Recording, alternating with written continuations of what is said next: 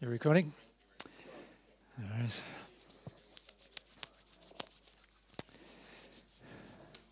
right. Off the mark, quick. Um, we can start with your question if you like. Just wait till uh, Mary gets back, or the yeah. And is there anybody else who's? No, that's about it. It's just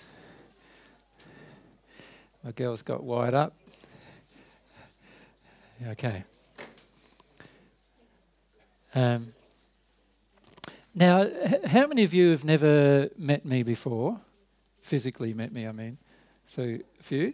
How many of you? How many of you though have at least watched a DVD or two, or watched some? So you, most of you have. So no worries. So that's what I thought, because uh, the guys wanted me to go through a bit of a splurb about what we do and everything. But obviously, if you've seen it all on DVD, DVD or video, you already know. So we'll have to take an opportunity to do that at another time. Um, let's fire away with your question right from the start. Um, AJ, I'm just getting the feeling that I'm pretty well living my whole life from addictions. Yep. And what courage it takes to even recognise them and then to act differently mm-hmm. To what I'm used to, you know, being acting. Yes. Um, when you're living in your addictions, the the general the, there's generally two primary emotions you experience on a day-to-day basis. One is what you would classify as a level of happiness because they because your addictions are getting met, and when your addictions are getting met, you usually feel good, right? And then the other one is a, a, a, severe, a severe, degree of unhappiness. usually, um, and you usually cycle uh, between those two states when your addictions get met, you're happy. When your addictions don't get met, you're unhappy. And usually, along with unhappy, angry, uh, frustrated,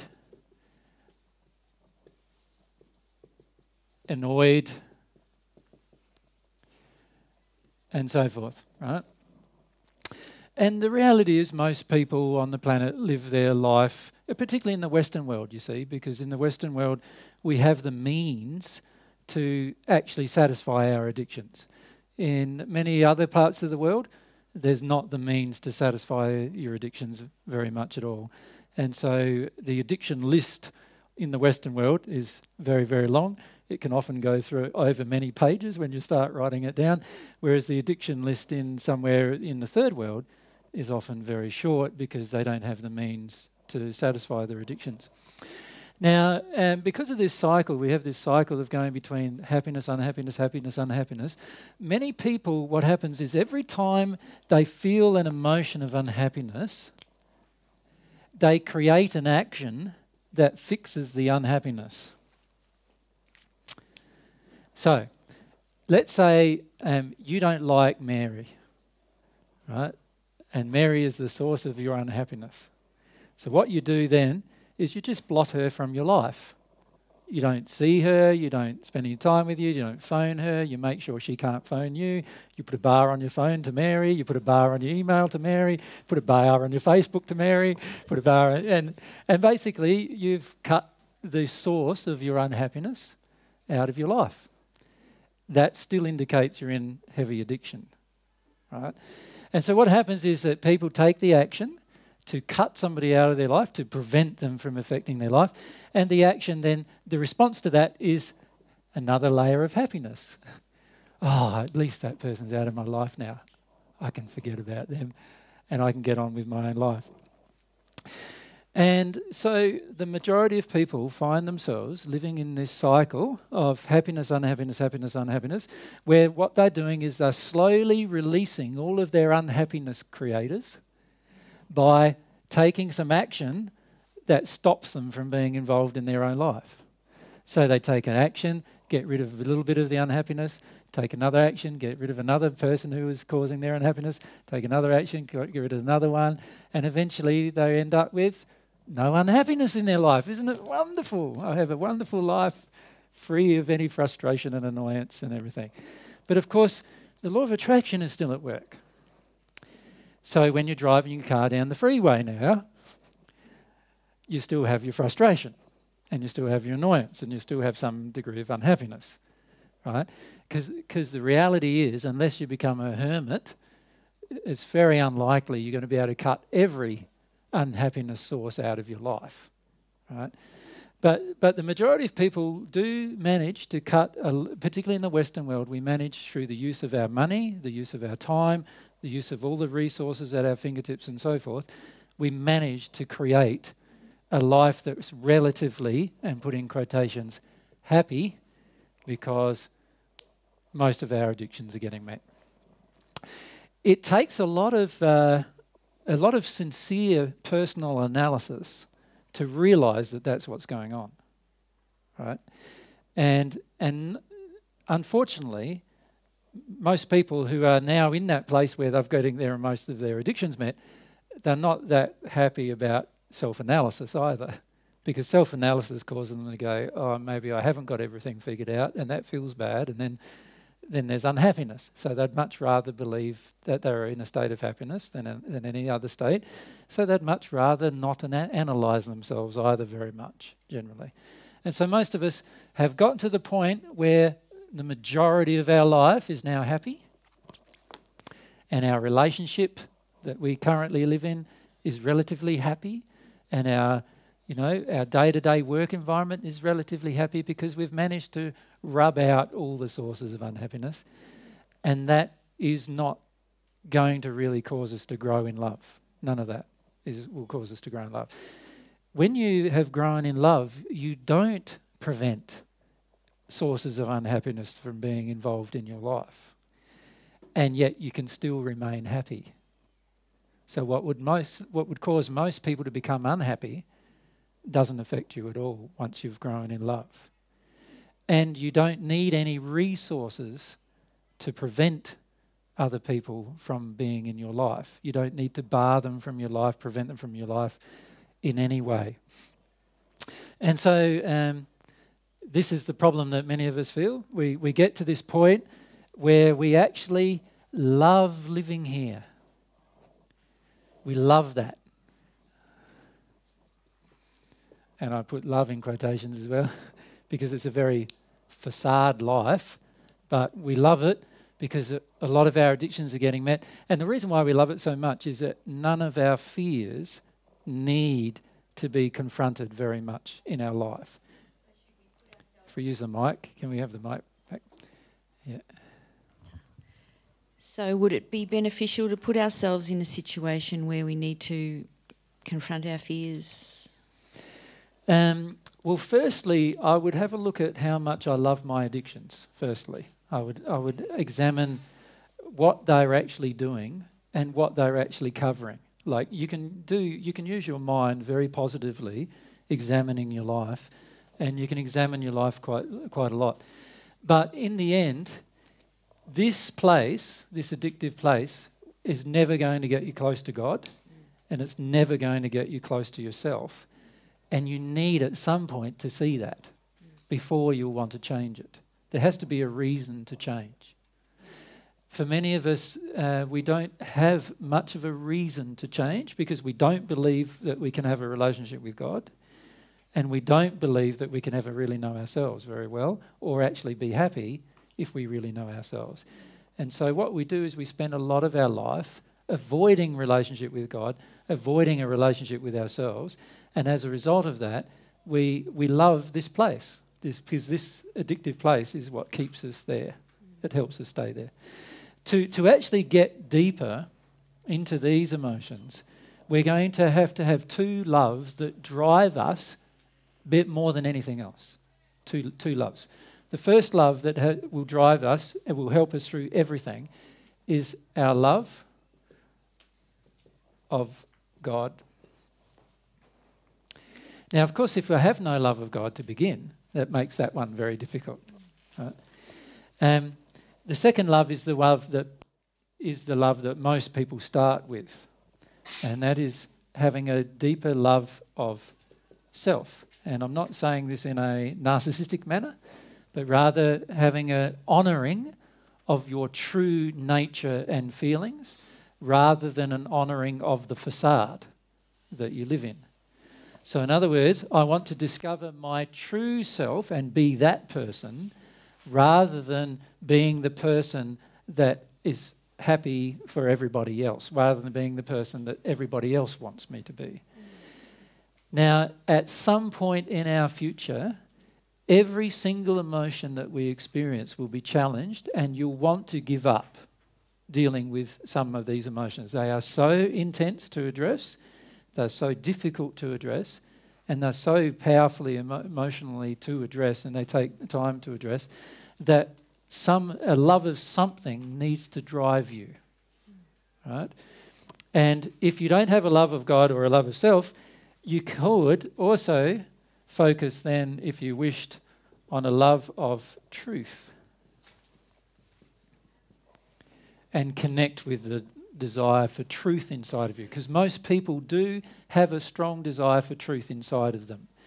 And when I say truth, a lot of times we have a strong desire for external truth, but not a very strong one for internal truth or the truth about ourselves. But usually the love of truth does pull us along as well.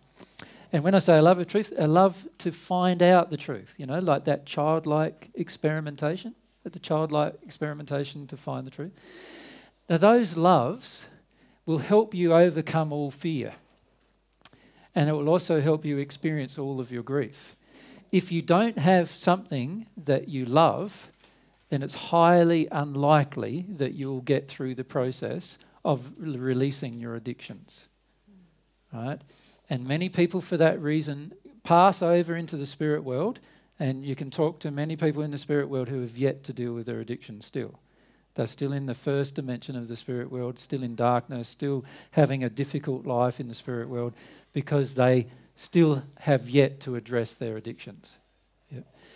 So, the addictions are really, in a lot of ways, for most people, when they're beginning this place of finding God and finding yourself, the addictions are a great place to start because they tell you everything about your fears. Mm. And anger is your guide uh, to your fears. In other words, every time you're getting angry, it's an addiction that you want met that's not being met. And the only reason why you're angry is because you're afraid of something not being met. Right? So, so they, it tells you immediately. So the beauty of focusing on your addictions and working your way through them, whether they're physical, emotional, or spiritual in nature. It doesn't matter which what type of addictions they are. The beauty of focusing on them is that you can you you can grow through that process um, a lot more rapidly than if you try to deal with your fears or you try to deal with your grief. Because uh, all of your addictions are about your fears, and all of your fears are about your grief. So, so once you address your addictions, your fears will be exposed to you. And that's the beauty of the process. Now, of course, for many uh, women, fear is worse than grief to feel. So many of you ladies will probably attest to that. That when you come up against fear, you feel terrified and you just feel like you can't feel it. But when it comes to grief, you can feel like you can get into your grief. But the problem is, the emotion of fear covers the emotion of grief.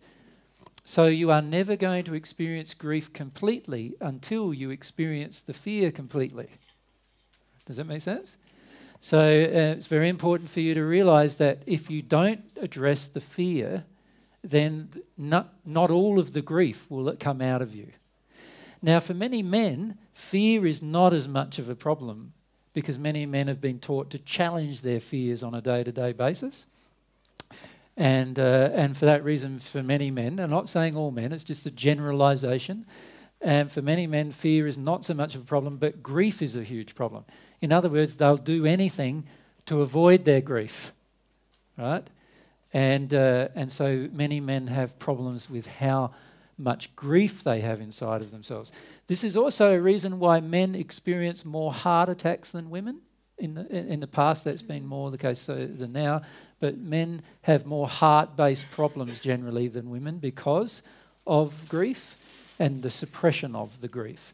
Um, women have a lot more problems in other areas of their body as a result of their fear rather than their grief and the suppression of their fears. And so remember, every problem in your body is a reflection of the different problems or things that you're trying to shut down emotionally. And often you, and these are again generalizations, but often you can see in women they're shutting down different areas of themselves emotionally, and as a result, uh, and many of the areas emotionally are the, the parts of your body that are affected by fear. For men, many of them are not so affected by fear, but more affected by grief, and as a result, those parts of their body are being shut down quite a lot emotionally. Yep. So I would, if uh, if it was me, starting right at the beginning again, right, I would start with my addictions. Okay. Yep.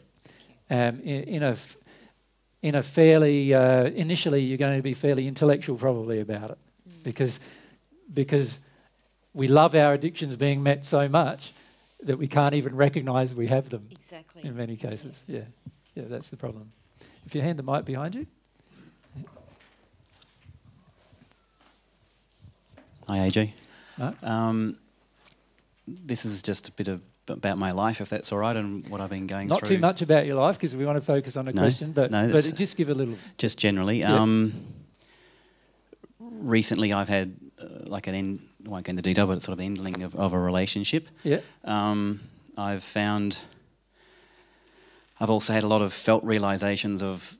I had a very controlling, dominating mother. I had a father that was completely abandoning, and I've realised that I've spent my entire life looking like a desperate need for love from a woman in from particular. from particularly from a woman. yeah, Um, I've you know felt the pain that as much as I've looked, I've never really found it because everyone that I've been attracted to has really been there to reflect the feelings of lack of self love. I so most of the women you've been attracted to have been women who demonstrate a lack of love for you. Generally, yes, most generally, and I have been the pleasing type man, the pleasing type man sexually, etc., etc. you do everything possible to to, please, to please. and um, And obviously, there's something that happens at the beginning of the relationship, which is that addiction thing that gets met. And then as the relationship proceeds, I found that the love that I would have liked or have been seeking has not ever been there. yeah, Um, and that then makes you do less, does it?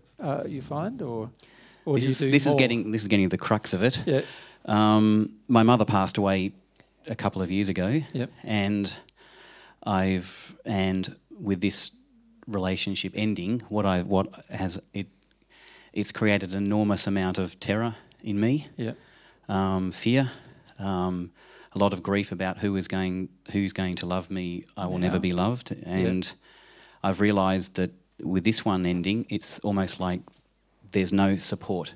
All of a sudden, there was always the mother in the background, even though another state.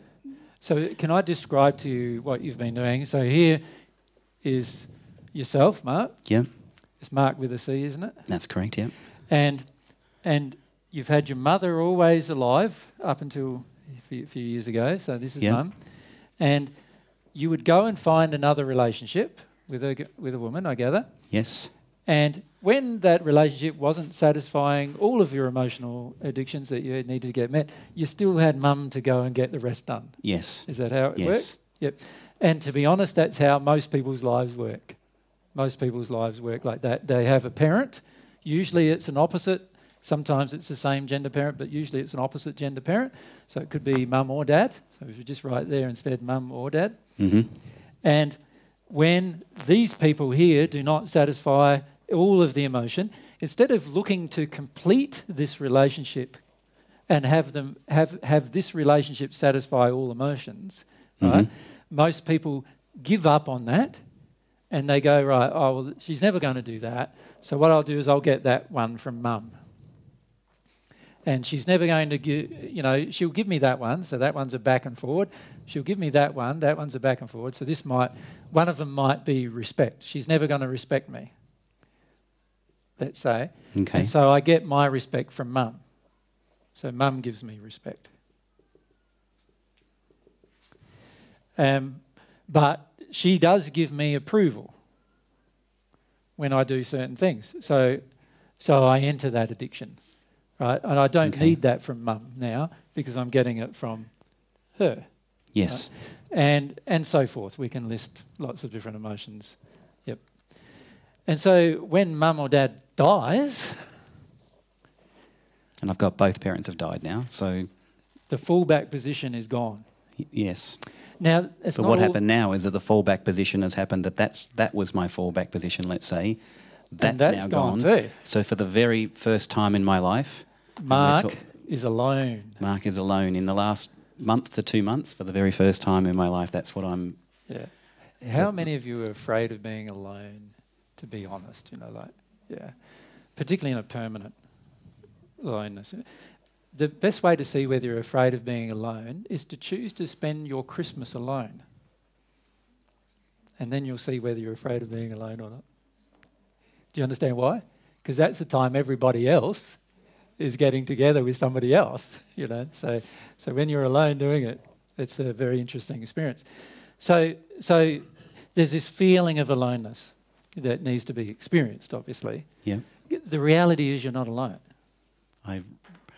This is what I'm getting at because I can see the truths, Yeah, but there's still like these child trapped emotions, exactly. which are still running things. So I, intellectually and So intellectually, remember the previous columns we had. Intellectually, we could say number two is the truth about being whether Marc's alone or not is that Marc is not alone. He's loved by somebody. There's spirit friends that you've got that uh, interact with you on a daily basis. God loves you. There's all this love available to you, but but you can't feel it. Right? That's the problem. It can't be felt. Yeah. So when it can't be felt, that's when this feeling kicks in of I'm all alone, I'm terrible, like nobody loves me, nobody wants me, nobody cares about me. That's the feelings that kick in, right? So we can tell ourselves intellectually the truth that we aren't alone or that we are loved, but, but it's not going to hit us emotionally, Marc, until we process something. You can see that. Yep. Can I just enlarge a little bit about situations to also involve other people's what's going on in their lives? When your mum or dad die, there is also the potential that your mum and dad are now in the spirit world but earthbound. So I'll just draw them here. They're still around you. Right? So for many people, not for yourself, Marc, because if, if it was happening for yourself, you wouldn't feel so alone. Right? But, be, uh, but because there's blocks to the spirit world for yourself, um, you do feel very alone as a result of that. But, but they are still there, and if they were earthbound and they wanted to feel, fulfill your addictions, Mhm. they would often just sit on your shoulder, still giving you exactly the same emotional addictions that you were getting before Okay. right? So I know of many uh, people who have passed who are just sitting basically right next to the person who, who was their son or daughter, still projecting exactly the same emotion at them that they were projecting at them when they were alive. Yes. And feeling that they're doing them a good deed doing so because it helps the person not feel bad about themselves and so forth. Yep. Now, once these addictions start breaking down, this feeling of aloneness, which is a huge feeling in society, like the majority of people are terribly afraid of being alone. Yep. And so, in fact, the way we plan our world in the Western world, if you think about it, often we plan our world around not being alone for any extended period of time. Yep. Does that make sense? So we'll, we'll often go, we'll go from, we'll go to work, but we don't want to go home to an empty house. So what do we do? We go around and visit a mate or a friend or, you know, ex-partner even. You know, that, that, that's better than nothing sort of feeling is the feeling we have. And, and so we go from that person and then when they reject us or they get a bit, they feel like they're getting too much of us, we'll go to footy or we'll go somewhere else where we're together with a group of people and we don't have to feel alone. Or we go to a restaurant or whatever else. We, we do just so many things. And even a lot of our hobbies are not chosen because we love them, but because it gives us an opportunity to not be alone. Right? Okay. And what we need to choose to do is to firstly feel the fear of being alone. Yep. Yep. And then allow, once we feel the fear of being alone, the grief about being alone. And so, what you'll find is in your childhood, there were many times when even your mum and dad were standing right in front of you, but you actually felt alone. No, I think I felt very alone all childhood. There Exactly. was complete non-recognition of any emotion or me Or of you, uh, yeah. at all. So Yeah. it was complete no acknowledgement of the child. Yeah. Yeah, no acknowledgement of the personality. A lot of parents don't even acknowledge the personality of the child, the individual uh, characteristics and nature of the child, and so forth. They just Mhm. don't acknowledge any of those things. So the child grows up feeling totally alone, even though the parents are right in their face all the time. Yeah, and the, it's a feeling we need to actually feel to release. And it's sort of, you know, I'm okay at this second, but of late it's just continuous. It's just, and I'm I'm happy that I've recognised I've done the list of the addictions. I know what they are, and I'm really res- don't want to go to them. You know, I want Well, there's two things that needs to happen. You're doing the first, which is to feel the error-based emotion. which is the fear. Um, no, No, in the end, no. it's the grief that you are alone. Okay. Because the reality is that God is right next to you. You've got all these spirit friends near you. You're not alone, even when you're physically by yourself. You're still not alone. Okay. Right. So, so that is the truth, but but that's just an intellectual truth. It's not something you feel, right? Mm. So, so the first thing is to feel that you are alone. You need to go through the feeling, which you are doing. But the second thing, you're very resistive to. Okay. All right, and many of us get very resistive about this. We need to feel the truth-based emotion. Yeah, this is where I've been struggling. I know the truth, and how do I get that? How do I get the truth in and the error out? Well, the often the truth enters as the error leaves. Okay. So, you know, sometimes it's just a matter of feeling the emotion longer um, before. So, so, for example, if it's an emotion of being alone and you were alone all of your childhood, you felt alone all of your childhood. So, so let's say for Marc, that was how long do you feel you ended your childhood? When, what age did you feel you ended your childhood? Oh God. Just maybe off the top of your maybe mid-teens. Let's Okay, say. Okay, so let's say you were 15. You've got 15 years of a loan to fill. Now, do you think you're going to get over that in one sitting? No. Definitely not. This is the other problem we have. We are very impatient. Right? So when we engage in experiment of feeling our emotions, what do we do? We go through this process of impatience. We go, I want to be over this. This should be over. I've been feeling this for one week. It's too long now. Right? right? But we've had 15 years of it and now we're, we're hoping to be over it in one week. Okay. Right. So that's part of our problem. We, we want things to be finished before they're finished. And f- being finished is a natural process that we'll, we'll need to go through. Yeah. So what about more about this feeling the truth one? Well, can you see that while the error exists, it's going to be hard to feel the truth? So, and partly you, you're impatient with the emotion. So you want the emotion to be over, which doesn't allow you to feel it, feel it fully. Okay. Right. So, so allow yourself to feel the emotion fully. As you do that, but you will also need to come to feel about the truth itself. Like, so what is the actual truth? Now you're being told by me the truth, but but you don't believe that, because if you believe that, you wouldn't feel alone. Yes. Does that make sense? Yeah. So, so it's okay to not believe these things. We need, we need to still be open to accepting them. So we'd put that in the experiment basket. So the experiment is so, how do I actually get to finish up feeling the truth that I'm not alone? The experiment would be to experiment with who is with me. Experiment with connecting with them somehow. I'm talking about God and your spirit guides who are with you every single day. Experiment with the connection there. I'm doing it with God. I tend to not. I'm You not tend to not do it with your guides because 'cause you I- feel you're alone. Yeah. Okay. and and this is where you're not experimenting. You're not going. You're not going. Well, hang on a sec. If that's true, then I must have a guide. And if if I've got a guide who's sitting on, with me every single day of my awake life, then he must know me. Very well- he must well. know me better than I know myself, right? And then on top of that, he must love me a lot to spend all of that time with me, Mhm. right? Um, so there's all that love that I'm shutting off, obviously.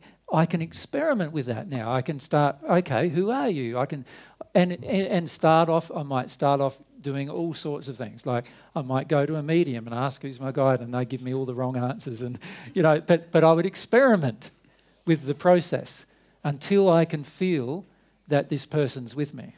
Do you understand? Okay. Now, as I'm experimenting with this process, what's happening inside of me is I'm becoming more and more open to feeling the truth because I'm actually knowing the truth exists. You see, Okay. you, you, it's one thing for me to say to you, you've got God all the time available to you, and you've got your spirit guide all the time available to you. I can say that, but it means nothing unless you can feel it. Isn't that true? Yes. right? So it means nothing unless you feel it. Now, how do you feel it? Well, at the moment, you're not feeling it. So you've got to go through an experiment Okay. to feel it. So engage the process of experimenting with it. Well, even the last couple of weeks, which I've really loved, there's been a desire to get to know God, like really genuinely Get to know God. God. Yeah. That's And I would do wonderful. that with God and your guides, which are the two uh, God and your guides are a group of people who want to know you. Okay. They, they have seen the damage that's happened in your childhood. They understand everything about your life. They understand you very well, better than you understand yourself most of the time. And they want to get to know you. They want to help you through that process. And so part of this process would be don't trust what I've just said, but to experiment with it. Okay. Who is with me? Are there these guides really? Like AJ says, there's these guides, but I've so what, never- even can you show me you exist, or Yeah, or help, or- help me do something, or yeah. I don't know that sort of thing. give me some signs that you exist. So you could you could you could enter into a dialogue with them that will enable them to show you through a series of events that they're there, Okay. right? And you could ask them to engage this process with you, not to alleviate your fears, but rather just so that you can learn to accept the truth that that people are with you who love you. Okay. Does that make sense? Now, what happens with most people on the New Age movement is they go, Oh, I've got my guide and I've got a guardian. Oh, well, that's wonderful. I don't have to feel bad. That's not the purpose of this. The purpose of this is to help you accept the truth emotionally, Okay. not to avoid the grief emotionally. Right? So, in other words, we want to engage this process of experimentation not primarily for the purpose of just making yourself not feel alone anymore. Okay. Because that's dealt with by the first thing you need to do, which is to feel the, fe- the error based emotion. Feel the alone feeling. You need to do that still. But you also need to engage this second process as an experiment of feeling the truth as well. What, what is the truth about that? Am I actually alone? So when I did that, it took me like five years to work through that issue, just that one issue. Of course, I was working through other issues concurrently, right? Because I often do do that. But I, I felt alone for many, many years, right? Until I could feel the people with me and feel God was with me. Then I didn't feel alone anymore. Now, there are still times when I feel alone, but I realise that it's just a feeling I need to feel because I've already gone through the truth that there are people with me and I know them and I, I've talked to them and so forth. Because there's a lot of fear in that lone, aloneness about not about. I've carried like with my life about survival, like not I won't survive in the world, Yes. and like a sense of impending doom and things must come to an end. That's just been horrendous. Yeah, no, most of the uh, world has those feelings. Um, the reason why we want family so desperately is because we do not believe that we are capable of supporting ourselves. And a lot of the time, the reason why we believe this emotionally is because we were taught that. We were taught that we are incapable of supporting ourselves emotionally and physically and, you know, financially and so forth without some family assisting us. And that's what my mother did. She basically made it that she kept me with her Yes. and disenabled me so that that was that was what she did. Exactly. And she did that because she believed that that's what she needed because she had the same feeling that she totally alone without you. And so um, what we finish up doing is we finish up growing up with this idea and concept that without family we're dead. Yeah. so Without sometimes family, it's felt like I'm going to I'm going to die. Yeah, yeah. And and this is a, an emotion that we do need to work our way through because the reality is we have God. Without God you're dead. Pretty much, right? Yeah. But but once you got God, who else do you need? Like you've got the creator of the universe. Do you think you need anybody else? Not really, right? Not really. So, so once we understand that connection and feel that connection, now we have the ability to understand that we can never be alone, right? But, but we have to feel that because it's not going to be real inside of us until we can feel that. And we can't manufacture the feeling. We've got to experiment to discover the truth of it. You can't, I'm not suggesting to you that you just believe something down pat and then just delude yourself into a false sense of an emotion. That's not what I'm suggesting at all. That's why experimentation is so important. Without the experiment, you are never going to believe yourself. Okay. Without the experiment. You know, you can have anybody tell you anything, and if you do not experiment, you will never believe them. Hmm, Until I feel it Until myself. you feel it. You're never going to believe them. So it's another question with regards to the fear and the grief. Yep. Like an, an awful amount of grief has come up with the relationship about the not being loved and the like, and it feels for me like the aloneness has So- has so- sat has sat under the the grief of the relationship ending. So it's like I feel like I've done a lot of grief about the relationship part, Yep. but the but the aloneness part is bringing the fear. So is it a different grief? Yep. They're different griefs. Totally Yeah? different grief. Yep. Because with some of your grief, you've been feeling your addictions actually, your addictions to a relationship. A lot of times up here, when we don't get addictions met, remember I said there's unhappiness as well as anger and frustration and annoyance. Mhm. Unhappiness is like quite often we can cry, but we can cry about our addiction not getting met. Right?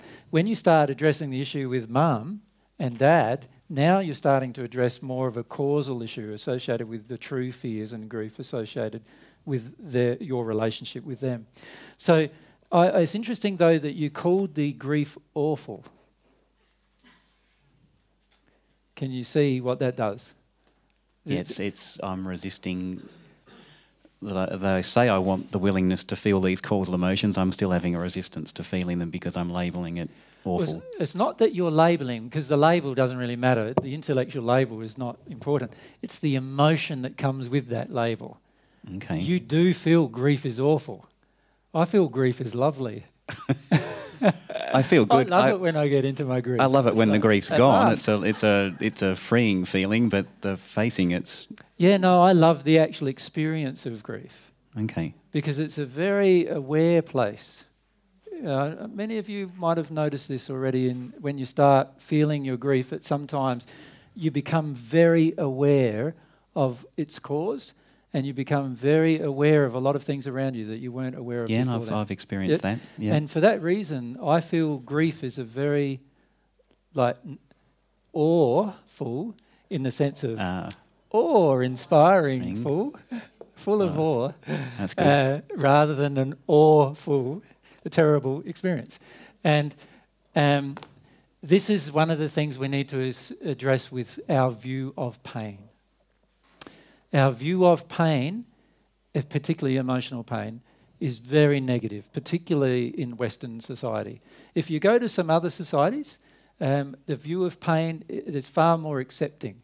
Like if you go to India or you go to Africa and have and go through the process of observing somebody who who's gone through a bereavement, they'll often allow themselves to cry for 20 days, 30 days, like just or, and and just really cry like for a long period of time until the grief is over, right?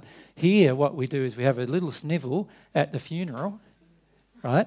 And then we have a little snivel at home when we're by ourselves, and a little snivel again. And, and the trouble is, our snivels fi- finished up being dragged out over years. And I've known some people who, 20 years later, they, is the first time they actually fully grieve a bereavement that happened 20 years before, yeah. right? Now, if you think about it, that is because of the viewpoint of grief. It's, a, it's how we see grief. In the Western society, we see grief as a very negative emotion. What's the very first thing that a doctor says to you when you're grieving? Have you, have you ever been to a doctor while you're grieving? It's a very interesting process. How long have you been crying for? If you say it's any longer than a few hours, what's the next thing? They prescribe you antidepressants. They prescribe you an antidepressant. yeah, exactly. Cause, because, because our society cannot cope with any length of grief. This is why sales of antidepressants are so high, because there is such a focus on suppressing grief. Grief being the healing emotion. It's great when you get into grief because you're no longer in fear and you're no longer in addiction. You're now just feeling it, and now you've got a chance to heal. So the reality is that there is far safer for you than any other place if you engage that in a loving place. So I'm not suggesting you engage grief in an unloving place, which would be suicidal in its nature, which is more to do with an addiction than grief. Right? So what we need to do is address our grief, feel our grief, allow ourselves to feel it. But we also need to experiment with the truth before the truth can enter us. We cannot expect somebody to just tell us the truth and then we automatically accept it emotionally. Okay. It's impossible to do so. We need to actually personally experience it emotionally before we will personally accept it. Okay. Yeah. Do you mind if you could just quick? There's two types of grief.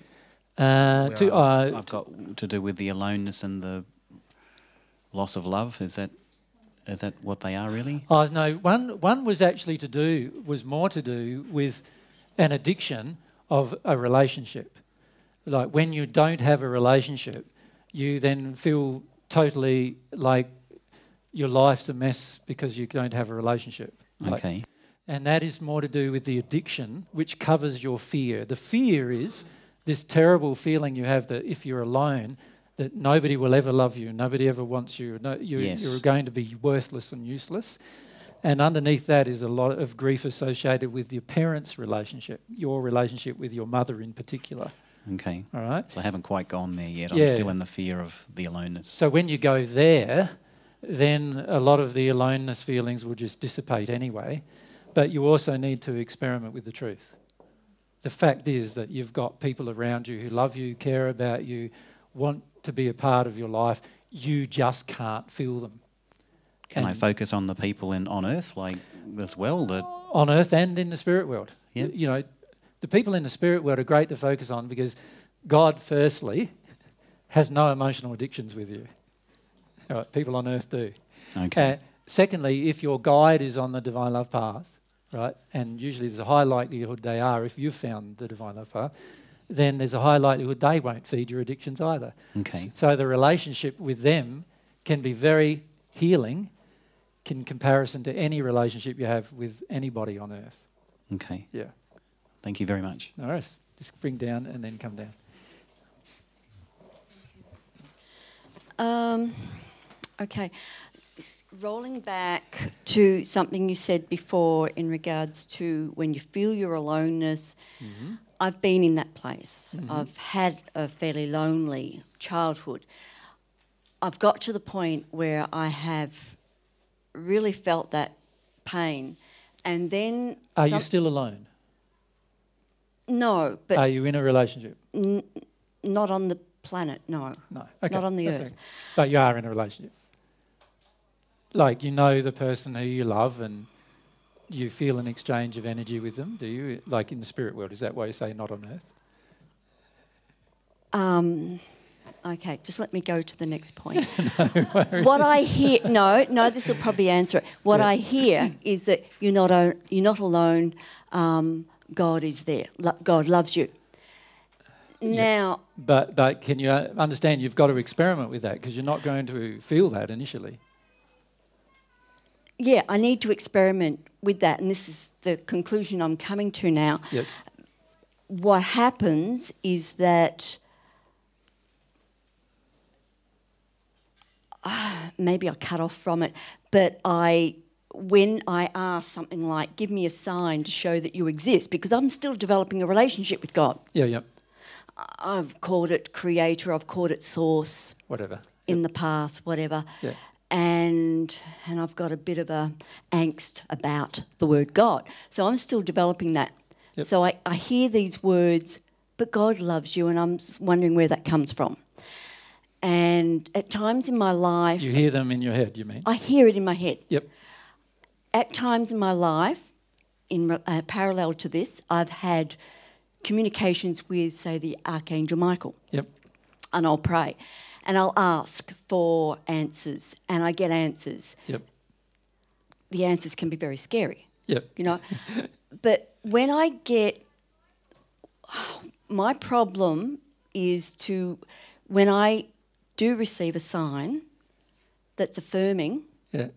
all this kind of self doubt comes up, and I think, well, oh, well, okay. Do I just want to believe that that's it's So, come from so you're place? finding that you're like a serial sign looker for. Is that how? no, no, no, no, no, no. I don't. I'm not Huh? a serial sign, but when something, When you do get a sign, when I do it. get a sign, I doubt, Yep. and I think, well, give me another sign. I, Yeah. You know, And give me what another. am and I give me doing? My, so my question is, what am I doing? okay. There's a number of things that you are doing, but can I re- rewind you back to the bit you wanted to avoid first? All right, I'm willing. You wanted to avoid the question about relationship. Uh huh. Uh-huh. I'm, I'm wondering what you want to say next. Yes. Well, no, there's now some fear coming up about what I'm going to say next, isn't there not? I'm not feeling anything. I don't know what I'm. I'm not feeling anything. Hmm. But the fact so- that you avoided the question the first time I asked is an indication that there was fear present. I, I don't feel I was avoiding it so much. I felt that something else I needed to say to give you a bigger picture of what I was, ta- you know. Well, what I'm going to say about this. I don't. I don't. Well, know. what I'm going to say about this will Okay. help you with the second question. You want to have a relationship with God, yes, I do. Yep. but you don't want to have to have a relationship with your soulmate. I don't know who my soulmate is. Uh, that's not the point. Okay. Even right. if you didn't, even if you didn't know or didn't know, do you want one? yeah, but I think it probably scares the hell out of me. Exactly. That's what I'm saying. The whole idea of relationship, which is actually what I said a few seconds ago, Uh huh. scare, scares you terribly. Actually, it does. Why? Yes.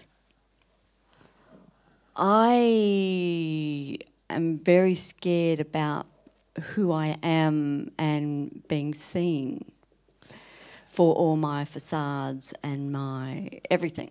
Uh, So you could say, um, I don't like using the term vulnerable because it's not really a, but you're scared of being transparent.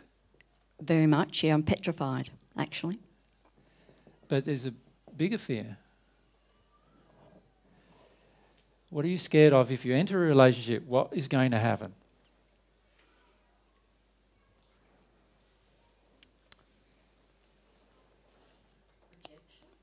Oh shit. Probably yes. So you feel you might be rejected? Yep. Okay. But keep going. uh, I don't know. Put down, abused. I don't know. All those things. Control. Control, definitely. In fact, I would have listed controlled as your number one issue with a relationship. You're probably right. Yeah. Yes. Yep. Mm. So, so you are afraid that if you enter a relationship with a person, an individual Mm-hmm. uh, of the opposite sex, in your case, I gather Mhm. it is, Mm-hmm. um, the the feeling is that you're afraid that they are just going to control you, Yes. and there's a potential of later rejection anyway. Yep. And then there's also this terrible fear that if they see you for what you really are, they probably won't like you anyway, and they'll probably Oh reject yeah. you anyway. Yeah. Yeah. hmm Isn't that not true? Oh, Okay. all the above. Yeah. So they are the primary fears. Can you see? Yeah. hmm Now, so that's the fear of relationship. Now, what are you trying to develop with God again? A relationship. Ah. oh, it's a relationship with God you're trying for. So, so can you see? sorry for making fun of it, but it's. I'm serious about this. Can you see Yeah. a relationship with God? You also are going to have the same fears. I never thought of it that way. Can you see that? And as a result of that, whenever you do get reassured that God loves you and God cares for you, the fear of, oh, but God will see me. How can God love me while God sees me? Like, Mm. God can't love me. Like, I, I feel terrible about myself, and God must see that. And so, how, how can God love me? And so you naturally are going to go into your doubts about any signs that God exists. Mm. Does that make sense? Yeah. As an automatic response. Yep.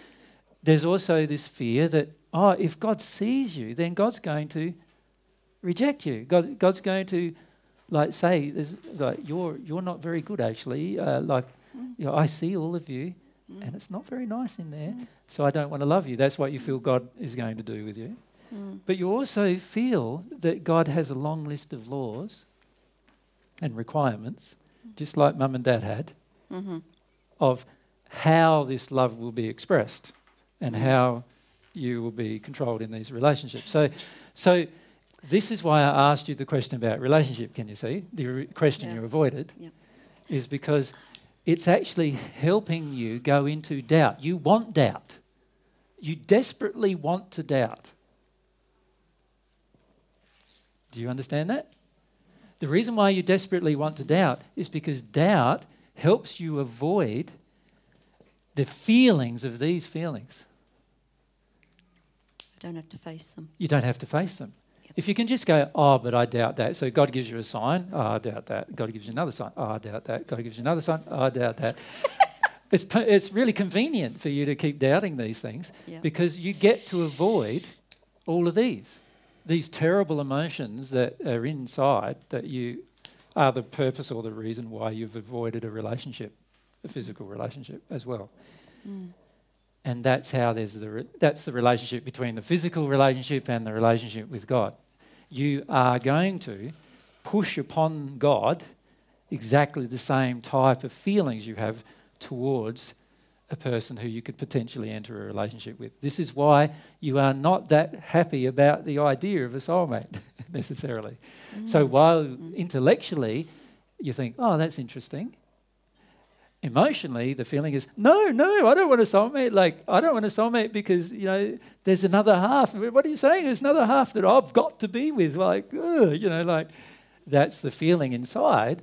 And, and that feeling, of course, is the same feeling that's present with God, same feeling that was present or created by your family structure as you were growing up. Mm. That still exists within. Oh, definitely. All those errors. Yeah, and I could list some more related to that, of Yeah. course, but you're able to list them anyway, aren't you? So, Yep. so, but can you see that your doubt is an addiction? Okay. Because your doubt Mm. helps you get away with feeling your fears. Yeah. Keeps um, the doubt keeps things at a distance. The doubt keeps this at a distance, this at a distance, this at a distance. If I can doubt God exists and I can and I can not enter a relationship on earth, then I get this beautiful addiction, which is I don't have to enter a relationship. I don't have to confront the possibility of being rejected. I don't have to confront the possibility of being controlled. I don't have to confront being transparent, being, being seen by another person. I don't have to. And my doubt helps me stay away from all that. It's very convenient. You see? And this is the trouble with our addictions is our addictions are often very, very innocent looking little addictions. Yeah? That cover large fears. Yeah? So it's sort of like your doubt is just sitting there nice and innocent. Oh, I just have doubt occasionally. And uh, uh, you see, it's like, oh, I just have another doubt occasionally, and so forth. And it's very convenient because it helps you avoid all of these things that you're terrified of dealing with and would prefer not to have to deal with. Mm. And that's also why I asked you about the relationship. Thank you for pursuing that. It's not a problem. it's my pleasure. the thanks is not sure about the thanks. Is that how it is? the trouble with truth, isn't it, is like, okay, okay, I get that, but did I want that? I'm not sure. yeah. The, um, this is the issue with our fears. You see, a lot of times the layer, layer of addiction above our fears is so seemingly innocent, seemingly small, that, that we don't realize sometimes how strongly connected we are to it. The, just little tiny belief systems, which we create in our addictions, to avoid whole groups of emotions. Yep. And the reality is that you're not going to be able to enter a relationship with God or anyone else for that matter without confronting these emotions. You're going to have to confront them at some point. Now, whether you choose to confront them now or leave it 100 years and confront them in 100 years' time, that's really up to the individual, what the individual chooses. My suggestion is confront every single emotion as soon as you're aware of them existing. Start praying about them, talking about them with other people. Work through the emotion straight away as soon as you're aware. Because when you start doing that, you get out of the addiction and start processing your way through the fear, and it stops controlling your life. Yeah. So it's very powerful. Yeah. Okay. Now there was Fab. Yeah, I just um, wanted to ask about you know how you had the, the, the table on the board before. Yes. Yes. Um, I get the intellectual part is basically where we're all have gone in as adults, and the emotional bit is probably where children start without any of the intellectual bit. They do. But it's the getting them together that's like I'm I, I find I struggle with is because I realise a lot of truth and here. Yeah, yeah, and then sometimes I'll I'll get into the, you know, into this area where the truth and the and the uh, and the loving truth marry up, but it's not often. But most of the time, I'm not really willing to be. To, uh, I don't really understand how to use this experimental stage of being childlike with all truth. So perhaps we need to discuss more the experiment. Yeah. Should we? Okay. So how do we go about experimenting with our life without making a mess of it? Is that the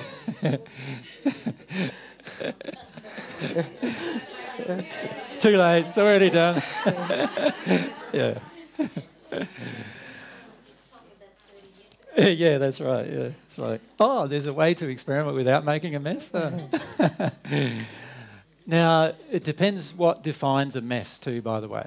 So, so do you want to define a mess as the way the world defines a mess, or do you want to define a mess the way God defines a mess? Well, I don't know about you, but I'd prefer God's, so I'm going to start with God's. So, what's God's definition of a mess in terms of you, in terms of an individual being in a mess? Well, what would be the pure state from God's perspective? And then we can see what would be a mess from God's perspective. what would be the pure state? So God's state would be like the person is loving. So, so, so the mess from God's perspective. Remember, God doesn't have a qualitative uh, judgment of the mess. So God's not saying you terrible person, you're in a mess. Like God's aware of how you got into a mess, and most of it wasn't even your problem initially. it was what decisions that you made afterwards. But the mess is unloving person. So what, what's God's definition of, of like something that's sane and real? Okay, so we look at truth. So that'd be somebody who's untruthful, isn't it? With self, self and others. Okay, and what what else? God's. Well, yeah, there's some in there, but hum, humble. Let's start with the first three, shall we? So humble. What's this one going to be? A person who's arrogant. Who? What, what's a person who's arrogant like? Like. Okay, they know everything. Um, they think they know better than everyone else. Yeah? What else? Sorry? Honest. So, can we say truth is a part of being honest? So let's do that. So, a person who God is living in their passions, what would you be living in if you're in a mess? Addictions, okay. And fear, okay. Okay, so God's truth, passion, that's understandable. What else? Desire. Desire. What is a person who's in a mess? Living in fear, yeah, rather than desire. What else? Trust. Okay. What's a person here?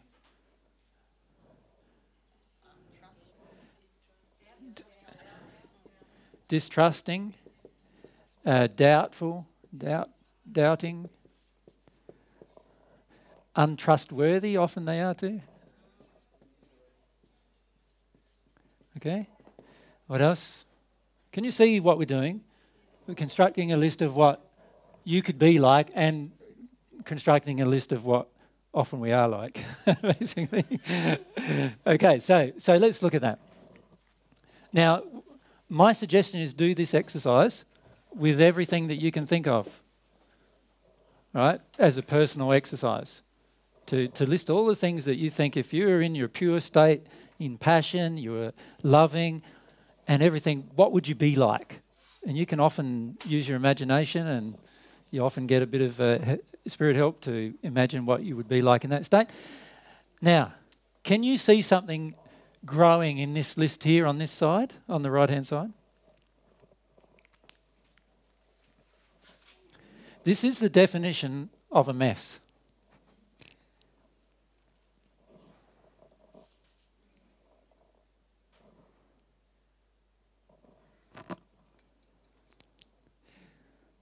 Does anybody want to make a comment about that definition of a mess?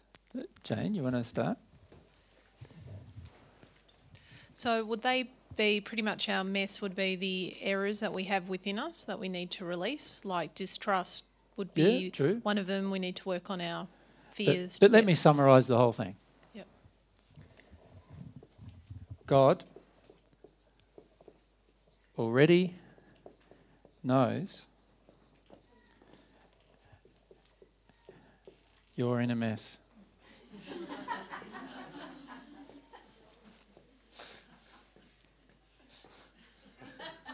Has that not dawned upon you?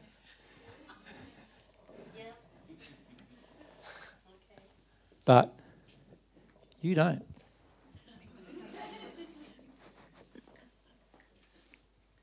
Has that not already dawned upon you? You see, what we think as, we, we would classify, see, if I didn't use that heading and I rubbed that out and I replaced it with another heading, which is called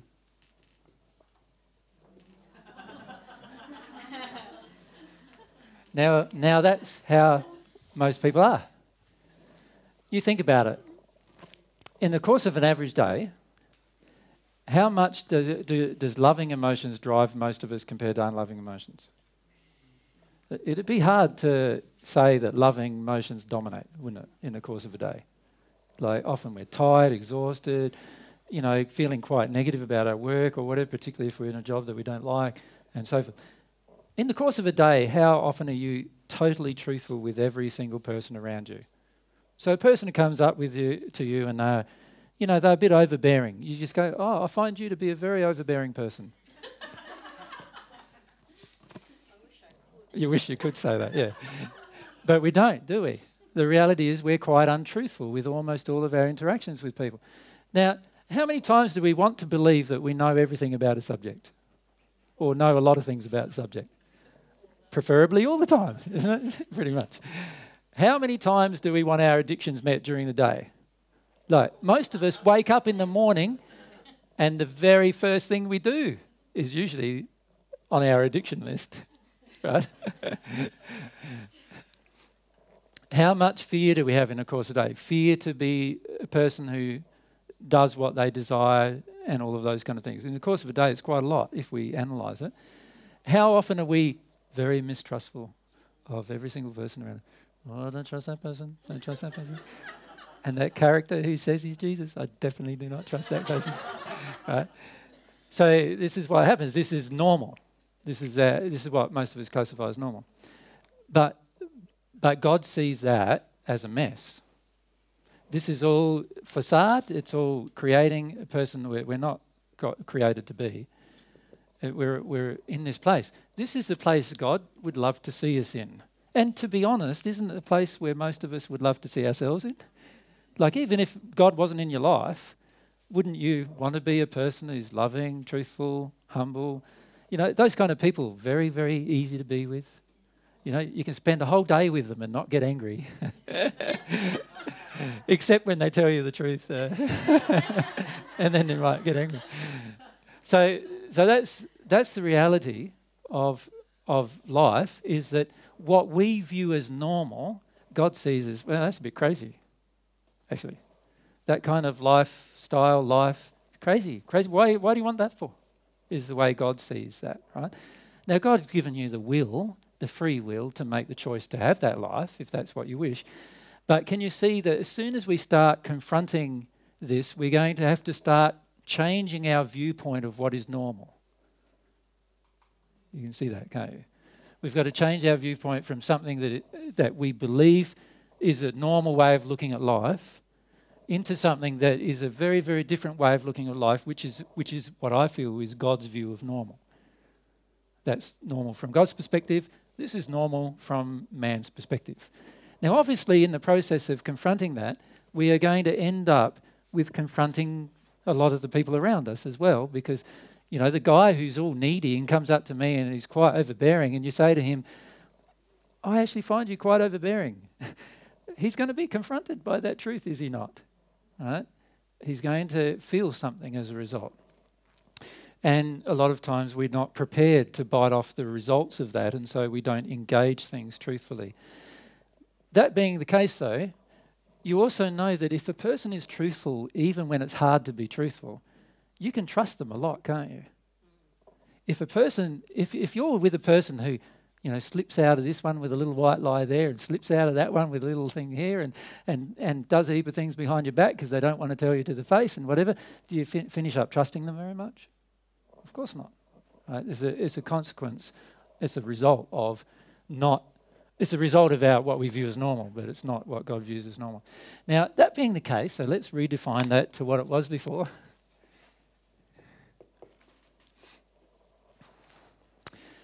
That being the case, why would we ever want to remain how we have been? It can only be one reason, can't there? Really. There's no other reason other than fear as to why we would want to stay in that place. Like when we look at that place, we go, I don't want that, I don't want that, I don't want that. If we look at that place without any fear of how other people will think of us, how any fear about our partner and whether they're going to leave us or not, any fear about our friends and whether they're going to think we're an idiot or not, like if we looked at that place, we'd go, no, that's not what I want to be. Right? We'd look at that place and go, yes, that's the kind of thing I'd want to be. I want to be that kind of person. Of course, I also want to be this kind of person. Wouldn't I? All of these things we could put on the list down here and list what the opposite is down here. And when we look at our life honestly, can we not see that a lot of times we've got this list going full on and this list is barely on our radar? And, and what we're going to need to do at some point is to confront within ourselves our fear. Because without confronting our fear, we're not going to change. Right? And we need to change. The world, the whole world needs to change, and the only way the world's going to change is by individuals changing. So we need to change if we want to change. If we want to be happy, we need to change. Right? And that's going to mean letting go of the mess. Unfortunately, though, we have our sense of worth from this mess.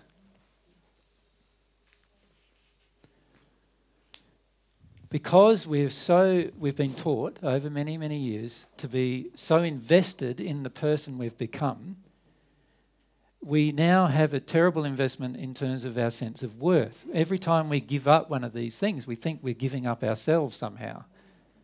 From god's perspective every time you give up one of those things you're becoming yourself somehow.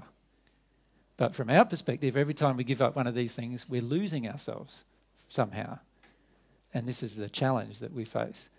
Our concept of what is normal needs to be adjusted. Last week in Adelaide, uh, I gave a little uh, half an hour talk at the end of our presentation in Adelaide about normal. Yeah. Normal from our perspective and normal from God's perspective, two very, very different things. And we need to change our concept of normal.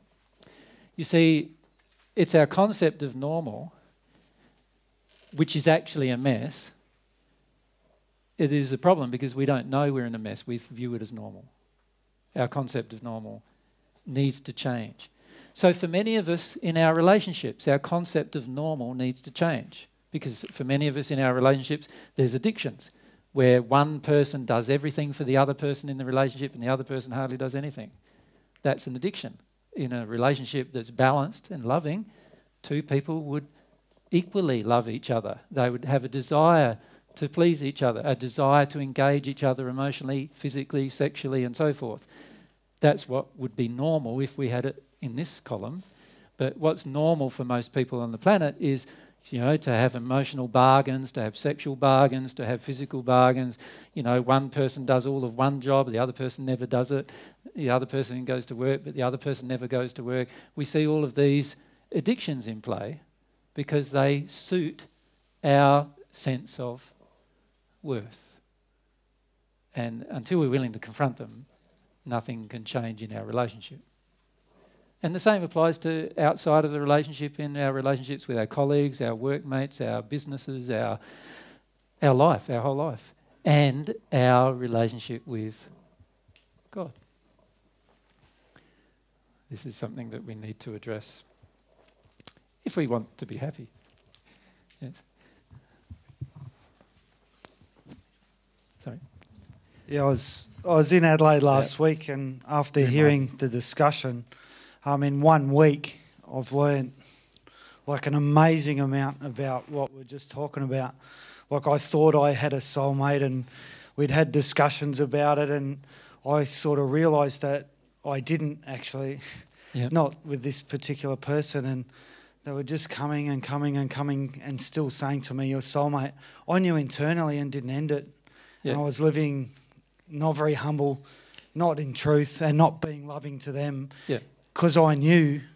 And yet I couldn't sit down and have the discussion because I felt I was being loving because I didn't tell her Yep. because I didn't want to hurt her feelings. And it was killing me.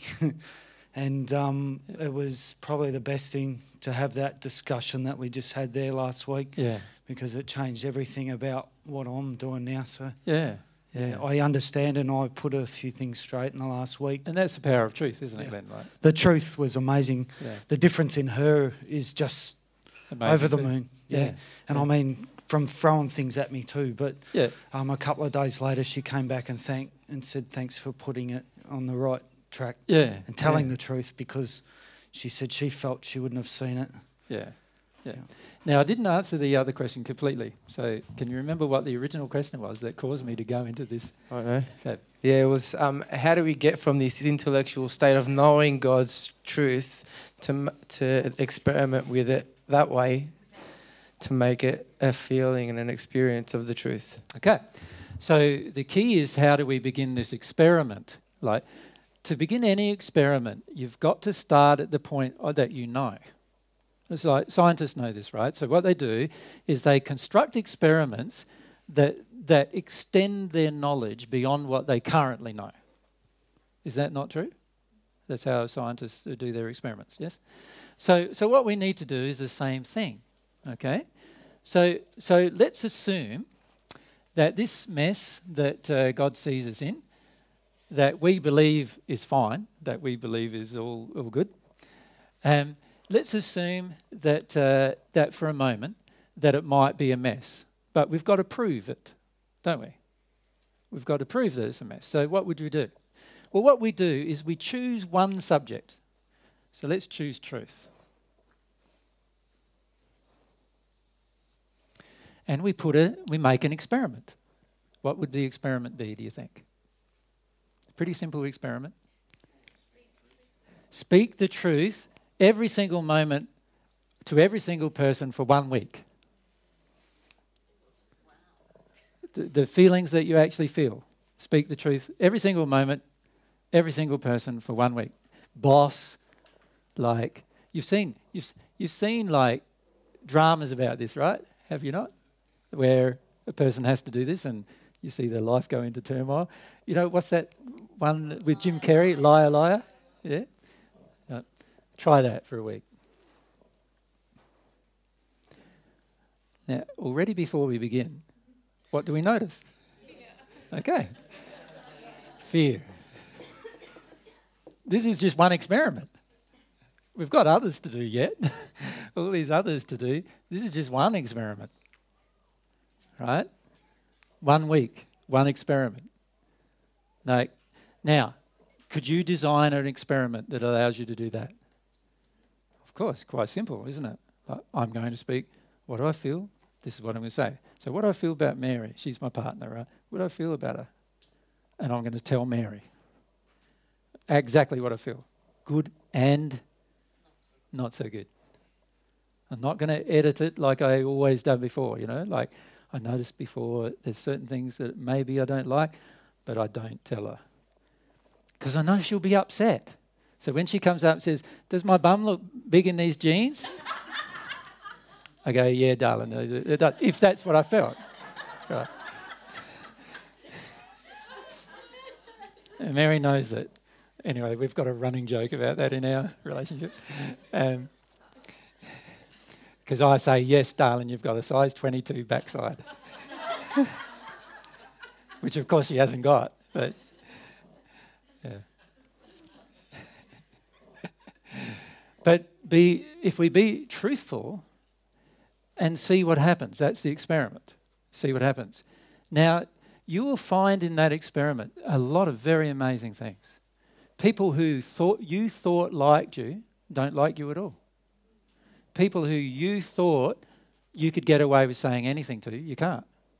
People who you thought were loving in all circumstances and situations are not loving in the situation of receiving truth.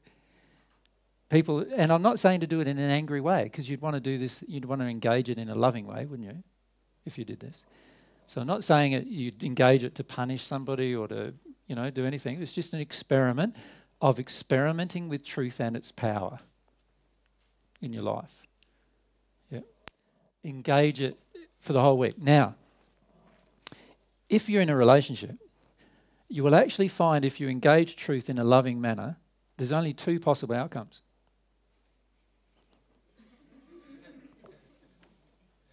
Your relationship will get closer that's outcome number one. Or your relationship will break up very rapidly. That's number two. That's the only possible two outcomes. And if you engage truth at work, there's only two possible outcomes. you'll get exactly the job you want and doing exactly what you want to do, or you'll get sacked. That's what you'll find. It's a great experiment. But you've got to be willing to address the fear, yes? It requires courage, doesn't it, to, to do that. Now, that's only one experiment. So, so you, could, you could engage in other experiments. So let's say the truth experiment is far too confronting for the first one. so, we, so we rub that one out. We don't do that one. There's just too much fear there for us to engage that one. Which one would you prefer to engage? Uh, let's go for desire. Desire seems to win. So let's go for desires. Okay. What's the opposite of desire? Yeah, interesting. You thought that one wouldn't be very confronting. it's one of the most confronting ones you can imagine. Like, so that means this week I could construct an experiment where I only do what I desire and I don't do anything else. Half of you won't go to work this week. so you still end up getting the sack. But can you see how, you know, again, it can be quite a, you can design some experiments associated with that. And I, what I say, when I say experiments, experiment with your desire. What are my desires? What do I really like doing? So, so go and do something. How, how many of you guys have been dancing? Yeah? How many of you have been ballroom dancing? How many of you liked it? Yeah. Okay. So few. This is great, is it? So that if, if you've never been, how do you know?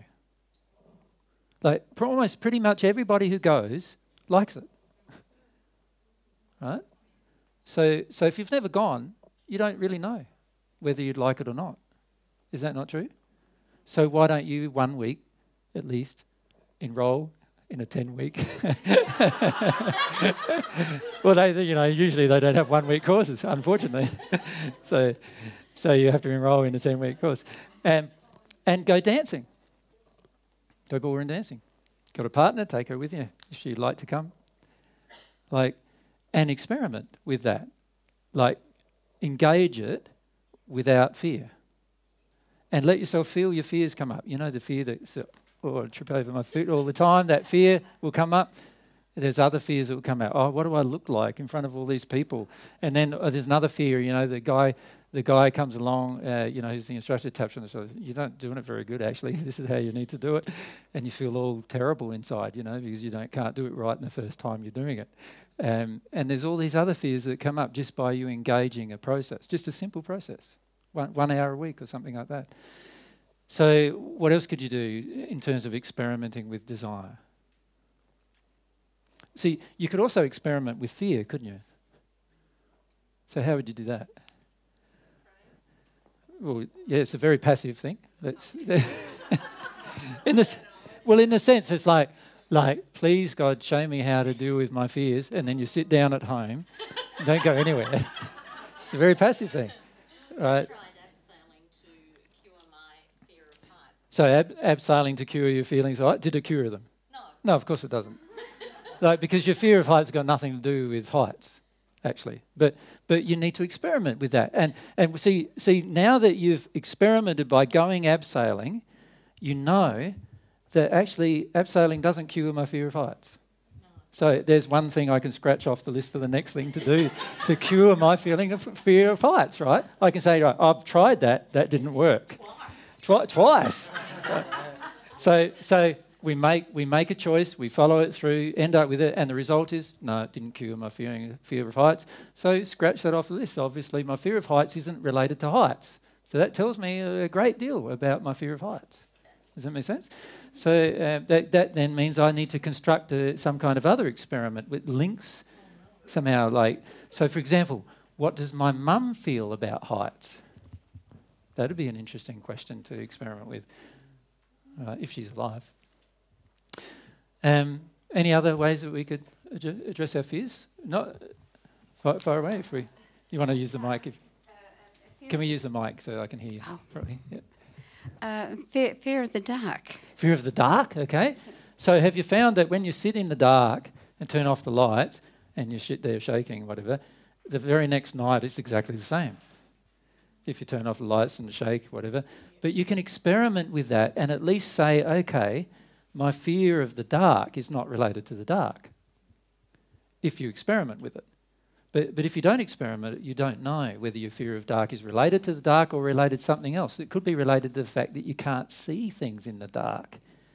Going outside at night, in, in the dark, you know. Going outside at night, yeah. So it could be more related to the fear of what people in the dark might do to you there's all sorts of things that it could be related to, not just the fear of the dark. It could also be related to how your mother viewed the dark when she was young, uh, what happened to her in the dark when she was young. You know, there's all sorts of relationships that we need to explore and experiment. But if we don't do the experiment, we'll never know. Um, if you say the comment on the thing, Marc, in the mic. So we're talking about the experiments, but what's the what's the purpose? What are we trying to do here? What we're trying to do is become more loving. That's the underlying goal, and more happy, is it not? Like so, to the beauty of any experiment that confronts us emotionally is that we will eventually release something emotionally that will be gone from us completely, and then we'll be left with only emotions that are positive and uh, that don't harm us, and that don't that, that are not defined by fear or addictions. In other words, we'll get closer to God, closer to ourselves, and closer to happiness if we confront these addictions. And the experimentation, remember when I drew the original table at the top, on both sides, I said anything we don't know the truth about needs to be experimented with. Right? So, this is also a way for us to determine the truth. That's the whole point of the experiment. It's how do we determine the truth? So, so in the experiment of abseiling to see whether you fear of heights, you learned one primary thing, and that is when you're up high and felt your feelings, you're still afraid of heights. So, so you've gone through that process, but you're still afraid of heights. You go through the process again, and you're still afraid of heights. So obviously, this abseiling thing isn't the cure of the fear of heights. There's something else going on, and so you learn the truth. You learn more about the truth every time you create the experiment. This is also something that's really important to understand is this is about taking responsibility for your own life and your own happiness. You see, if you expect other people to do the experiments for you, and then you just sit back and relax, waiting for them to tell you the answers to these experiments, do you think that inside of yourself, your own feelings will change? Of course they won't. Because for your feelings to change, you're going to have to feel something for your feelings to change. That's the reality. You've got to experience the feelings, yeah. Tara. I was talking about this with Di this morning um, with my fear of mammograms. Mm-hmm. So I'm unsure. I don't. They don't feel good to me. I've never had one. Mm-hmm. So if I'm in the unsure category, Mm-hmm. not feeling that, um, to experiment to me would mean looking at information about them because um, you know there's a lot of fear about them that they can actually cause breast cancer. Yep, yep. So I don't particularly want to put myself through that experiment just to feel the truth. But, I'm- but yeah. let's be honest, Tara. What's the reason why you're afraid of a mammogram? Well, bec- because I'm scared of what they might find. No, that's not your main reason. Well, see, years ago, before Mum had her breast cancer, I would feel sick at the thought of a mammogram. I just felt sick at the thought. But now, Now we're getting now more got a lot of closely to the point. Yeah. Firstly, mum died of can- breast cancer. And my grandmother, her mum. Yeah. Grandma died of breast cancer.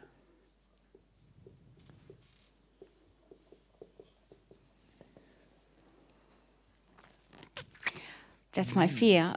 But I've been, my biggest block is my denial because I tell myself it won't happen to me. Exactly. You're saying to you, you, you don't want to even know the results of Yes. a mammogram, and that's why you're not going to get one. Because you don't want to know the results of it. You don't want to know whether it's positive or negative. But what if the actual act of the mammogram is unloving? Well, did your mum have a mammogram? No, Okay, interesting. Did had grandma have a mammogram? no. They weren't even invented then. No, I don't think they were, but even if they were, she didn't, and Yeah. mum would was scared of them as well. Okay. Did that stop her from getting breast cancer? No, Okay. she didn't actually seek any doctor for the first four years uh, when she discovered the lump Why do you reckon that is? because she had a fear of The the doctors fear you have. yes, I, yeah, Interestingly enough, Mm. same fear you have. yeah. Can you see that the the actual cancer itself must be caused by something different than the mammogram or not having one? Okay, so there's So it's interesting that you're going, oh, I'm not going to get a mammogram because it might cause breast cancer, but the reality is that's not the primary fear. no, The primary fear is that you might ha- have breast cancer, yeah, or that you might do a mammogram and find you have breast cancer, and that is your primary fear. yes, right? And you can see that that was also the fear of your mother, and obviously something related to your grandmother too. yes, Yep. Now it would be far better to find out what the actual cause was. So you remember which breast it was that Mum started her cancer with? hmm Which one? Um, mum was on the right, and my nonna, my grandmother was on the left. Okay, so one was on the right, and that was Mum's, Mum, hmm and Grandma's was on the left, which is Grandma's. and I've been having a bit of tenderness, on my left side, the left? which is um, So the same as causing concern. You've been having the same as grandma. hmm So last night I woke up with a pinching feeling in the tender part, and that's. Breathe now. See, now you're getting into your fear. So this is very good. But I know that I've still got this ma- major block, the denial, which is really stopping me from feeling my fear because I'm going back into the it's fine. It it won't happen to me. Yeah. Often, what you find happening, if I can point this out with breast cancer, just as a general thing, often you find if you trace back the lineage, you've got mum died on the from the right, started on the right, grandma died on the left, grandma's mum, right, her grandma, her her mum left, Okay. and you can trace it back right, left, right, left, right, left, all the way down through. The, often right the way down through the chain, if it's known whether they had cancer or not. And there's good reasons for all of that. Emotional, emotionally good reasons for that. Right meaning to do issues to do with the male, left meaning issues to do with the female. So does that mean that I could, I'm more likely to have taken on my grandmother's um, unhealed emotions than my mum's if it's showing the left side? Well, yeah, it's a lot more complicated than that. Yeah. Even grandma could be actually with you a lot of your life because she's passes more, uh, more. You know, she's passed a lot more earlier than your mum. Mm. And so, therefore, her emotions affect you. If she stays with you, she's earthbound, she stays with you, her emotions affect you, right? Yep. So, grandma's emotions can affect you. On top of that, right and left means issues with the male or female, right being male, left being female. So, so your mum had issues of pandering to men and trying to get their approval Mm. and trying to earn their approval and then feeling angry when she didn't get it Yes, I agree. right? Your grandma had the opposite emotion. She had pandering to women issues, wanting to get approval from women, Yes. and then getting angry when she didn't get it. What kind of issue do you have? yeah, I can see that one. You you don't pander to the males very much, no. but the me- the females, you pander to them, trying to get their approval. Same issue as grandma. Yep. Does that make sense? So so these are these are issues that you can trace back. Now, let's experiment. If you really wanted to experiment, what would you do?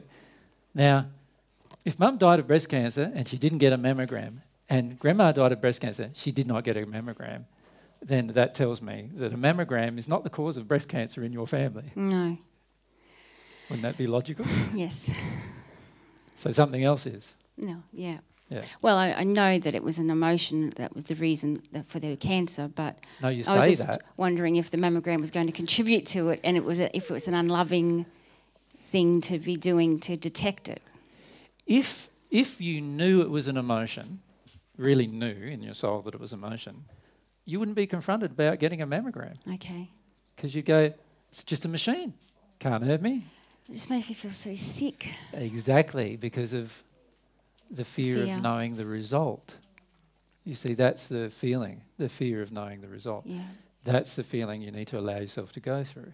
How are you going to go through that feeling? By making an appointment and doing it. Exactly.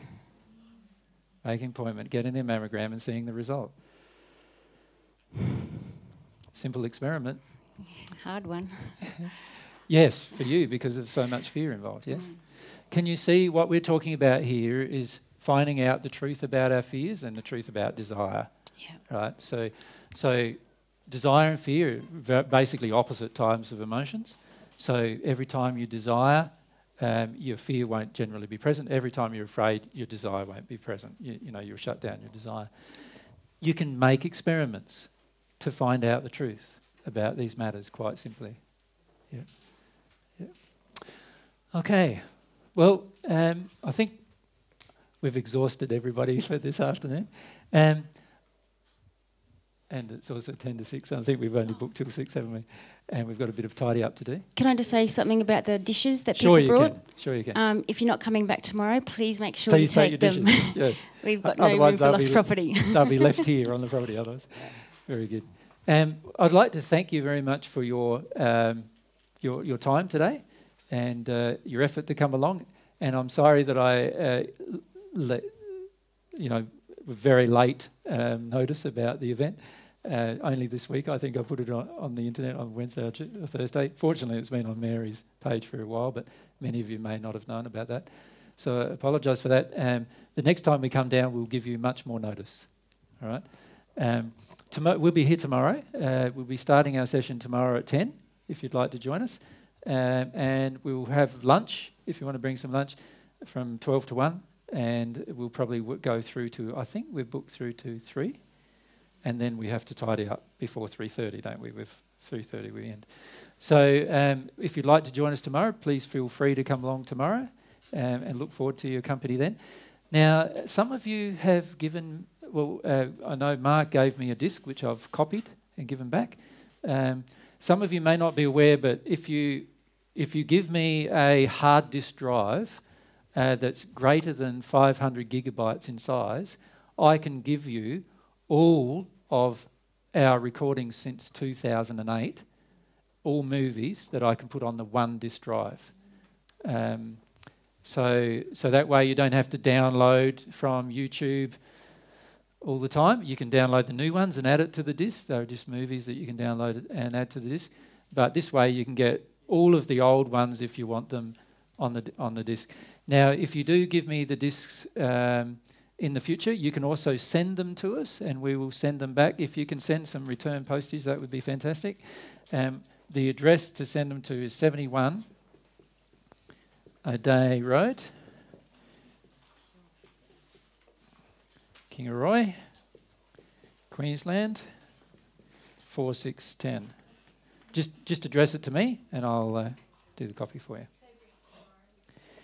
Yes, if you bring one tomorrow, um, I can copy them. Um, obviously, I, they take about seven hours to copy, um, around about. So if 10 people bring me one tomorrow, then you won't be getting copies back for, for, quite a few days. But uh, if, if one or two of you bring a copy and you're willing to copy them for other people, that's also, they're all, it's all material that's non, non-copyrighted. Uh, it also includes all of the PDF documents that are on our website, and it includes all of the MP3 sound recordings that are on the website as well. So it includes all the movies, all the sound, and all of the PDF documents on the website. Um, Sorry, is that the right address? yes, that is the right address. Yes. Yes, uh, we are the only people in Wilkesdale. There's one road in Wilkesdale um, that actually have a Kingaroy address rather than a Wilkesdale address. It's just the way they do the postal service. Marc? What, what you copy me if we want to get the DVD presentations of the early stuff from the 2006 onwards? Is that how, how will we get Um, there are no DVD presentations in 2006. There are some DVDs in 2007, but we are yet to remaster them. So they have not been remastered. If we do master them, we will place them uh, on YouTube and you can download them from YouTube if you wish. You can also send us um, a USB stick. Um, each presentation is around about one to two gigabytes each. So if you want five presentations, you could actually send me a little USB stick that that is 10 gigabytes in size or greater, and I could copy it onto a USB stick for you. So Because it seemed from watching the earlier DVDs at one stage you had like a starter pack with 10 of the early ones and you were giving out DVDs for all of the early stuff. We are still doing that. We, we've run out of stock at the moment, but we're just getting another 100 of the starter packs done. We are also adding, um, this is going to be called Introductory Pack 1, and we're adding a second introductory pack, which will include some interviews with myself and Mary, and it will also include the Way presentation and a number of other recent presentations that are not included on the Introductory Pack 1 which we, which we feel together, the two packs, would be ideal to give to somebody who wants to learn about the basics of what we teach. Um, so we're doing that as introductory pack one and two, and we're still going to be sending out DVDs. But the, the beauty of doing the disc is that somebody gets like, it's like 300, 300 talks around about on one disc. Um, and it's very easy to handle rather than having lots of these, and as long as you've got some way of playing it onto your telly through a HDMI cable or something like that from your computer, then it's a great way of watching them rather than having to watch them So DVDs.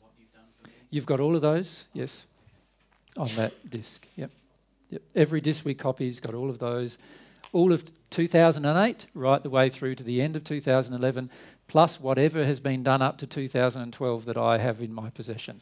So Igor, who's doing all of our editing, he is still working on a lot of stuff that we've done. It's a very time-consuming job, as you can imagine, and he spends quite a lot of his time doing it. He also um, it, it, it, takes anywhere from 10 to 20 hours to do one of our talks and edit it. Uh, when I say edit it, we don't edit the bits and middles out, but he edits it in such a way that try he gets the sound and video with the two cameras and merges it together and produces one thing seamless presentation. And it takes a lot of his time, which he volunteers his time to do. So it's not always instant when we get those uh, cuts. But uh, I think we've done, I think on your disc there's up to about February or something like that, 2012. But every time we get a disc from some to copy, I will also, I've got an updated disc that I carry with me at all times, and I just copy whatever anybody uh, has right up and to the point where I've got the data. Yep. Is there any other questions related to that at all? So DVDs will still be produced, but less. We're producing less so them because this other way is a great way of uh, distributing large amounts of information um, without having lots and lots and lots of DVDs. If you compare the cost for us, if a person buys the disc, um, the costs for us are just a little bit of time to copy the disc. In comparison, if we did all of the DVDs uh, in a pack, the cost of all of the DVDs in a pack would be around about $500, right? So, in terms of effectiveness of the use of the donations that people donate to us, it's far more effective for us to provide them as a disc than it is to provide them as DVDs. Yeah. The other advantage is we don't have to take them to a publisher. We have burners of our own, but uh, you know to do that you have to have a supply of empty and blank discs. You have to have a printer that allows you to print the face on it, and all of those kind of things. Whereas this this way, we get a disc that's sent to us, and it's only postage to send it back. Or if somebody sends us with postage, we, we that's great too. And it's generally our only our time, and uh, and it's just i I've got an automated process that I just plug in the drives and away it goes, and unplug it takes five minutes of my time. And as long as I've got a few computers free, it works great. So that's the reason why we're supply we're, we're wanting to supply more and more in terms of hard disk drives. Yeah. These we'll still continue to do, and we're still we're just in the process of getting more printed, but uh, but it's uh, it's not as cost effective as doing the drives. Yeah. Okay, I'll write it down. Um,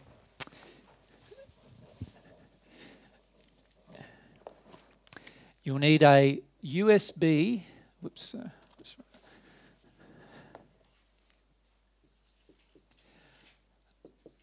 hard disk drive greater than or, or equal to 500 gigabytes size. A USB 2 or 3 hard disk drive greater than 500 gigabytes in size. Um, you can buy them right now from Dick Smith for $89. Yep.